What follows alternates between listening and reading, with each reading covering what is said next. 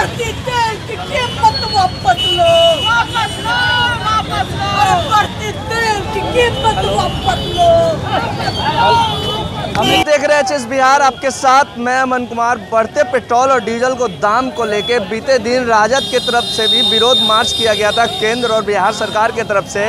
और आज तस्वीर आप पीछे देख रहे हैं, ये तस्वीर कांग्रेस के तमाम कार्यकर्ता हैं जो बढ़ते पेट्रोल और डीजल को दाम को लेके साइकिल यात्रा करने वाले हैं और केंद्र सरकार को घेरने का काम करेंगे। देख रहे हैं तस्वीरें कि कैसे तमाम जो कांग्रेस नेता हैं, कार्यकर्ता हैं, वो यहाँ मौजूद हैं और बढ़ते पेट्रोल और डीजल को दाम को लेके ये केंद्र सरकार को घेरने का काम कर रहे हैं। आप देख रहे हैं, जिस सरकार चाहे वो केंद्र की सरकार हो या बिहार की सरकार हो, लगातार उनको मतलब आम जनता की समस्याओं से कुछ लेना देना नहीं है।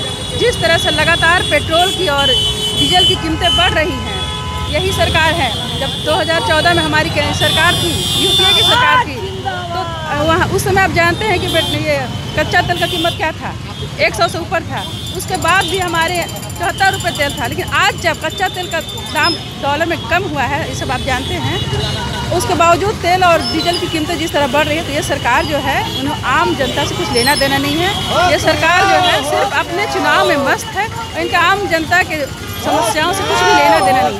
क्या लगता है ये नौबत आ चुका है कि अब बैलगाड़ी से भी चलना जाए? बिल्कुल तो क्या करेंगे? आपके पास आज देखिए कोरोना से लोग परेशान है। लोग को खाने का लोग के पास खाने के लिए नहीं है। तो ऐसी स्थिति में आप पेट्रोल और डीजल के दाम बढ़ा रहे हैं। आज किसान कैसे खेती करेंगे? किसान तो डीजल यूज़ करते हैं।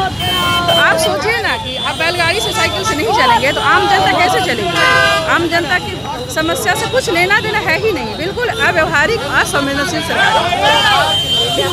ये सरकार जो है, बिल्कुल अव्यवहारिक और असंवेदनशील है। उन्हें आम जनता की समस्याओं से कुछ लेना देना नहीं। तो आपने सुना कि जिस तरीके से बढ़ते पेट्रोल और डीजल का दाम बढ़ रहा है, इनका साफ़ तौर पे कहना है कि हम विपक्ष है, विपक्ष का काम है सरकार के जो तमाम जो नीतियाँ हैं, उसके खिलाफ आवाज़ उठाना जिस तरीके से किसानों की समस्या आए दिन देखने को मिलती है। और अभी बरसात का समय है, अभी कृषि का समय है, और कृषि का समय में देखते हुए डीजल का जो दाम बढ़ गया, उसको लेके ये विरोध मार्च किया जा रहा है, और ये कांग्रेस का विरोध मार्च है, ये साइकिल विरोध मार्च है, ये डगमंगला चौराहा तक जाएगा बोरिंग रोड चौराहा से।